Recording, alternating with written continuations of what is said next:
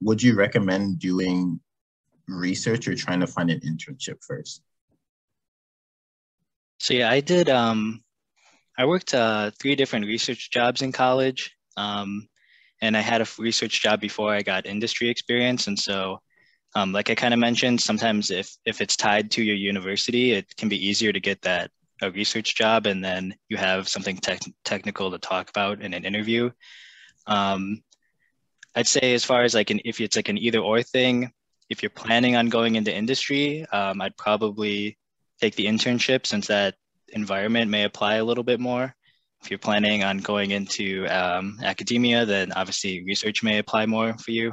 Um, but I wouldn't necessarily, I don't think one's clearly better than the other. I think, uh, you know, you could work an industry job where you're just kind of doing busy work the whole summer, and that might not be super useful to you. Um, whereas like maybe a research job, you're being able to do hands-on stuff and contribute to a paper that maybe you get a credit in.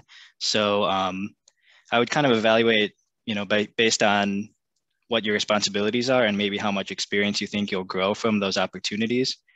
Um, maybe that could help steer your decision. But um, I did both, and I think they're both very helpful um, wherever you decide to go in industry or academia. Yeah, I think it really just kind of depends on what you want to do and where you're at the moment. I think that um, an internship is a great experience to kind of learn how a company works, really because um, that's super different. Um, but there's also a ton of benefits of research, and I didn't do a ton of research. Um, I didn't like have a summer of research or anything, but I wish I did. Uh, I think it would have been helpful, but I am still fine without it. So it's really kind of just look at the opportunities that you have and kind of just kind of, decide what path you want to take. And either way, it's going to work out well for you. So